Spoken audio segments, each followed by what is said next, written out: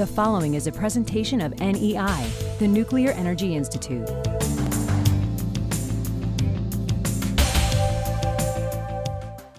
Hi, I'm Marvin Fertel, the President and Chief Executive Officer of the Nuclear Energy Institute, and I'd like to share with you how the U.S. commercial nuclear industry has been instrumental in implementing one of the most significant nuclear nonproliferation initiatives ever.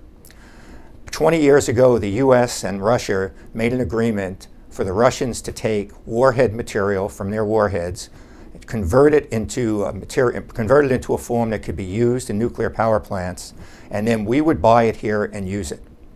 This particular program, which was called Megatons to Megawatts, has resulted in the dismantling of 20,000 warheads in Russia and the production of 10% of the electricity in our country.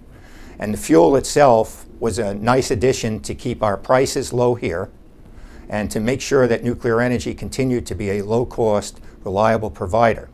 I'd like to thank the U.S. industry, particularly USEC, that was instrumental in implementing this, and all of the utilities that bought the fuel to use in the reactors to produce electricity in this country for this particularly very important non-proliferation initiative. Thank you.